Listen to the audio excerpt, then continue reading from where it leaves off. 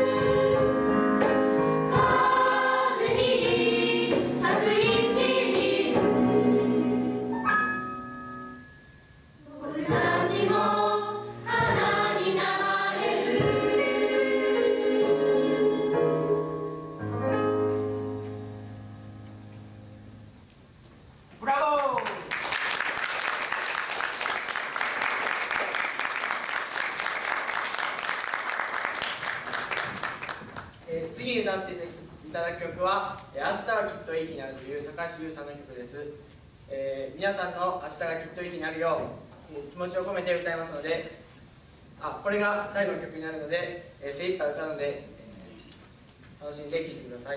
今日はありがとうございました。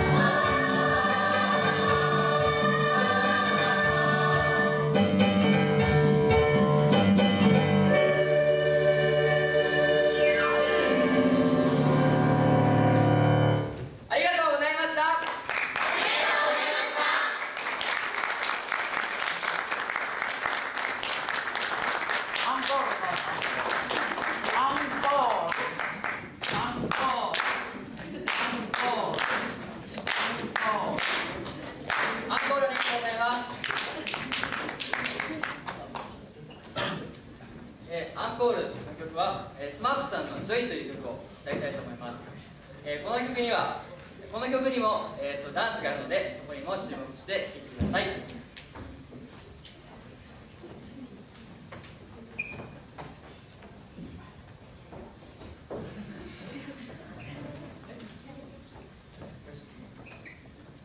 ちっちゃい子とかどう？一緒に踊らない？前にどう？ほらその帽子かぶったの。どうですか？おじいちゃんおばあちゃんでも。構わないですよちょっと過激かもしれないですけどいいんじゃないでしょうか？ちょっと落ちるの前に運動とか。どうですか？一緒に座ったままでじゃあ僕たちの真似をしたで、え2回ぐらい3回ぐらいあるので同じ振りがそれを一緒にやってください。よろしくお願いします。じゃあそれでは最後楽しんで皆さんで一緒に一体となって。では終わりましょう、えー今日はありがとうございました「